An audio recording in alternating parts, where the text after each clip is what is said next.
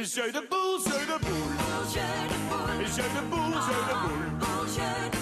Jeu de boel, jeu de boel. Jeu de boel, jeu de boel. Ze legden mij het uit. Het is een moeilijk spel. Maar toen ze mij het voor... Welkom iedereen, alle leden. 40-jarig jubileum. Eh jubileumcommissie heeft eh, angstige dromen gehad over dagen dat het zou regenen. Waar ze alle tenten vandaan zouden moeten halen om droog te kunnen staan. Het is allemaal niet nodig geweest. Een speciaal welkom eh, voor de mensen van Omroep Drimmelen. Die eh, dit gebeuren voor een groot gedeelte op gevoelige plaat vast zullen leggen. En eh, waar wij later dan met vreugde op terug zouden kunnen kijken misschien. In ieder geval dank aan iedereen die deze bijzondere dag eh, mede mogelijk heeft gemaakt. Bijzondere dank natuurlijk aan de mensen van de jubileumcommissie. Sjan, Henny en Adrie. Eh, en natuurlijk aan alle leden. Want als die eh, niet jarenlang trouwelijk waren gebleven, dan zouden we hier met z'n allen niet staan. Met het weer hebben we in ieder geval al geboft. De luister zal worden bijgezet door Harry Bakker, die burgemeester Schulze vervangt, want die heeft andere verplichtingen vandaag. Zelf ben ik vandaag fotograaf van dienst en hoop dat er niemand bezwaar tegen heeft publicatie van een geslaagde foto. Of minder geslaagde foto, je weet het maar nooit. Eh, dat was wat ik wilde zeggen. Ik geef graag het woord aan eh, de bijzet van de jubileumcommissie. Of doe jij het? Doe jij het? Ja? Oh. Jan doet het helemaal zelf. Nee, nee. Kom maar Jan, ik blijf naast jou. Ja?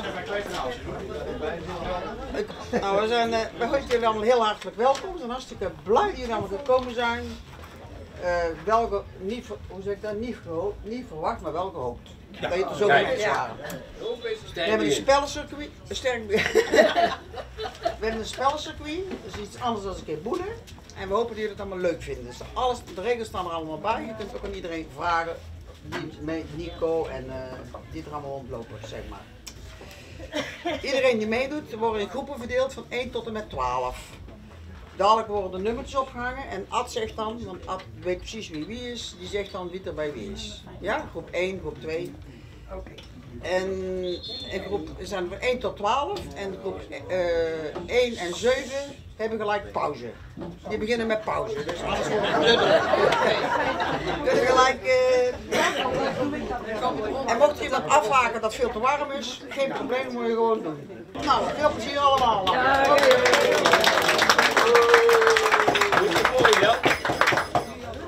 Jeu de boel. Ja, hoe doe je dat? Eh, met, eh, met een heel klein balletje en per persoon met drie grote zware ballen. En dan is het gewoon een kwestie van je boel zo snel, zo dicht mogelijk bij dat kleine balletje te krijgen. En dat is de essentie van het spel. Oké. Het komt volgens mij eh, oorspronkelijk uit Frankrijk. Ik kan mij filmpjes herinneren van oudere mannen die onder de belommerde bomen daar ook mee bezig waren. Met een glaasje Pernod erbij. Kortom, dat leek mij hier niet de bedoeling, een glaasje Pernod erbij. Het zou heel mooi zijn, het zou heel fraai zijn, maar eh, nee. Wij eh, proberen toch de, de gedachten erbij te houden en ons niet laten beïnvloeden door Pernod of andere sterke dranken. Komt uit Frankrijk. Eh, hoe lang? Ja, het is al in de 19e eeuw ontstaan. Meestal ook in de buurt van, van etablissementen waar men ook een hapje kon eten. En er zijn een aantal boeken over geschreven die, die de historie belichten. Zullen we dan binnenkort eens eh, wat eh, in gaan lezen. Want nogmaals, mijn kennis gaat niet verder dan wat ik eh, weet. En ik denk het gros van de kijkers nu ook niet. Want het is ontstaan, het spel hier is ontstaan, ik dacht uiteraard 40 jaar geleden. En was jij daar toen al bij? Nee, helaas. Ik was toen nog in een andere levensfase. Het is ontstaan achter het huidige café, het toenmalige centrum. Het centrum in de, in Bij de Witte Kees noemde geloof ik hè? Dat, ja, na de Witte Kees eh, kwam eh Cordrice eh, daarin.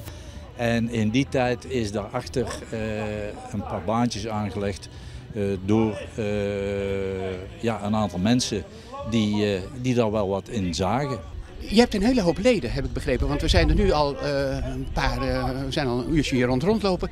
Hoeveel zijn het er in zijn totaliteit? In zijn totaliteit hebben wij 88 leden op dit moment. En we doen nog steeds ons best om daar langzaam richting de 100 na te, te kruipen. Maar we doen ons best om steeds wat te winnen, op verschillende manieren. Je krijgt eh, het idee als je zo rondloopt dat de gemiddelde leeftijd eh, redelijk op leeftijd is. Dus eh, ik denk zo boven de 60 zal het ongeveer wel zijn. Is het dan wat dat betreft niet meer een oudere mensensport? Dat wordt het nog steeds als zodanig gezien. En de mensen die wij als leden bijkrijgen, dat zijn ook mensen in de levensfase dat ze gestopt zijn met werken en wat meer vrije tijd hebben. En jeugd, dat eh, wordt ons wel eens gevraagd. Maar we hebben bij andere eh, zusterverenigingen wel eens gezien dat eh, als er jeugd is, dan zijn die gaan boelen omdat de ouders daar ontzettend veel lol in hadden. Maar na verloop van tijd zijn er andere zaken, een beetje verkering, een andere sport. En niet vergeten de gaming waar ze constant mee bezig zijn. Daar kun je niet mee concurreren, Jan. Niet meer. Niet meer, dat gaat absoluut niet. Dus wij zijn blij met de mensen. En jij zegt de gemiddelde leeftijd 60. Ik acht hem nog een jaar of tien hoger. Maar dat is het. Maar het zijn wel allemaal mensen die nog steeds enthousiast en met volle overtuiging eh, de sport Er zit komen. natuurlijk een hele hoop wijsheid in die groep. Hè? Enorm. Ja, en daar ben jij dus de leader van. Niet de wijste, maar ik mag al die wijsheid kanaliseren, laten we het zo zeggen. Wat gaat er vandaag gebeuren? Want ik zie een hele hoop dingen die volgens mij helemaal niets met Jeu de Boel te maken hebben. Ze hebben eh, onze jubileumcommissie die zich eh, spontaan aangemeld heeft eh, tijdens onze laatste jaarvergadering. Die hebben besloten om het eens over een andere boeg te gooien. Geen Jeu de Boel toernooi, het is zo traditioneel. En er is een spellencircuit opgezet met ja, allerlei verschillende van mini-golf tot stokjes vangen tot weet ik En iedereen doet mee. ik hoop het wel. Ik hoop het wel. En degene die niet meedoet, ja, die zijn verontschuldigd. Want ik kan me voorstellen dat mensen met dit weer op een gegeven moment zeggen van eh, nou, het is voor mij wel mooi geweest. Ja, nou, ieder half uur gewoon een, eh, een hoop water uitdelen, dat komt wel heel eind. Ja, ja, ja, ja. De kraan eh, loopt en ze hebben allemaal consumptiebonnen gekregen. Dus eh, aan ons zal het niet liggen om ze fris te houden. Eh, hoe ziet het er eh, over tien jaar uit? Dat eh, heb ik in, eh, in de laatste nieuwsbrief eh, mezelf ook afgevraagd. Ik neem niet aan dat ik dan nog voorzitter ben. Jonge vent zoals jij, dat moet toch kunnen? Ja, maar ik, ik, ik, ik hoop die, tegen die tijd de vereniging ja, nog verder op weg te hebben geholpen. Maar ja, ik hoop dat er, er zullen een hele hoop leden van ons niet meer zijn. De oudste is inmiddels 88, over 10 jaar, 98 en nog boelen. Dat heb ik niet meer meegemaakt. In eh, het gesprek met eh, Jan Brown, eh, de voorzitter van deze club, kwamen we erachter dat de gemiddelde leeftijd toch wel best richting de 70 is. En dan zou je zeggen, dan zijn er een hele hoop van 45. En ook een hoop ouderen. En er is er één, dat is echt het oudste lid. Dat is Johan Heemskerk. En die is al een hele tijd lid, of niet? Ik ben al 19 jaar lid. Hm, Van 2004. Oké, en vroeger ook al een keer eerder dit spel gedaan? Ik heb wel eens een heel klein beetje gedaan, maar heel weinig. Maar ik heb het hier meer geleerd. En wat is het leuke ervan? Ja, het leuke is natuurlijk eh, leuke mensen allemaal om je heen. Eh, je blijft fit, gezond. Dus ik voel me heerlijk op het ogenblik. En eh, 10 meter, dat is voor mij nou, een kleine kunst. Ja, je bent al wat ouder, geloof ik, hè? Ik ben 87 jaar. Bedankt voor de tijd, want eh, je was bezig met een spelletje, geloof ik, hè? Ik ben bezig met een spelletje, ja. Dankjewel. Dank u wel. Oké. We hebben net de oudste lid van de club hebben we een babbeltje mee gehad. En dan is het logisch dat je ook even met de jongste lid van de club gaat praten. En dat is eh, in dit geval Lolo van Soest. En die is al sinds wanneer lid van de club? Oeh, ongeveer een jaar. Dat is nog alleen nog niet zo lang. Niet zo lang. Nee, klopt. En dan de, nu de onbeleefde vraag aan een dame. Hoe oud bent u dan wel als die andere 88 is? Ik ben 61 jaar. Ja, dan is inderdaad nog een vreselijk jonge blom, hè? Maar dat zie je ook aan alle kanten, hoor. Dus wat dat betreft... eh, En wat is het leuke hier?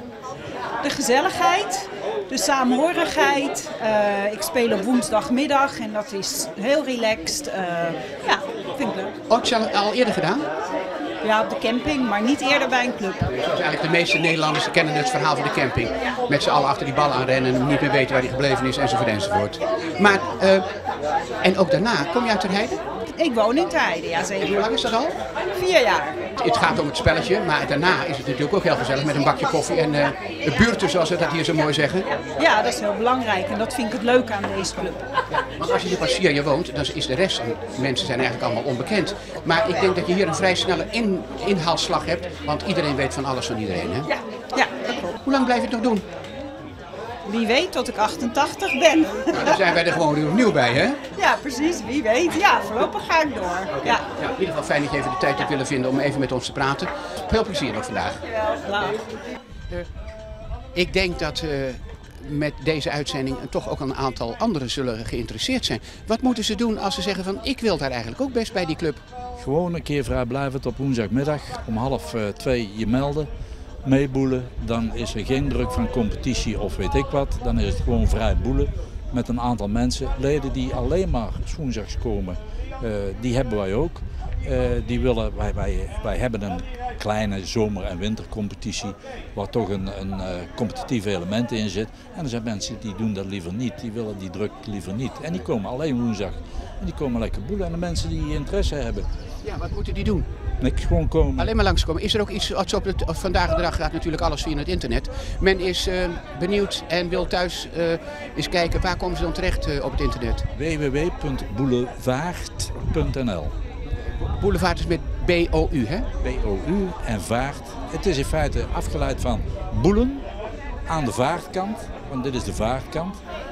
Boulevard.nl en daar vind je alle informatie, zelfs over het 40-jarig bestaan en de historie. Het gaat stormlopen, dat kan ik je wel vertellen. Dat hopen wij, want wij doen nog steeds uh, alle mogelijke moeite om mensen te interesseren in de sport in zijn algemeenheid. En onze vereniging in het bijzonder. En zo doen we bijvoorbeeld uh, een deze maanden ook met zomervermaak mee, zodat we een aantal mensen, waarschijnlijk ook weer ouderen, want zomervermaak daar doen geen jongeren aan mee. Maar toch een aantal ouderen die kennis komen maken met de vereniging en de sport. En misschien blijft er weer een, een paar leden aan. Wat zijn, de, wat zijn de kosten als men mee wil doen? Oh, te verwaarlozen. Te verwaarlozen. 24 euro is de contributie per jaar. Voor 2 euro per maand. Daar kun je geen armoe voor lijden, om maar even plat te zeggen. En het is uh, niet alleen het, het jeu de boel, maar het is ook het sociale gebeuren. En dat is ieder spelmoment. Dan is er toch, zijn mensen een half uur van tevoren aanwezig om eerst de, ja, de, de afgelopen week eens door te nemen, de afgelopen dagen eens door te nemen. Vragen geïnteresseerd hoe het is met familieleden waar misschien iets mee is. Of, ja, gewoon een... Het sociale aspect is heel groot. Heel hoog, heel hoog, ja. ja. ik eh, nogmaals hoop dat wij met deze uitzending eraan toe hebben bijgedragen dat meer mensen nieuwsgierig worden. Ik moet je echt heel hartelijk danken voor, jou, voor jouw woorden en de uitleg. Uh, het is nu aan de mensen om uh, zich bij jou te melden, denk ik. Heel graag, van harte welkom. Jan, hartstikke bedankt en veel succes nog. Heel graag gedaan, dankjewel.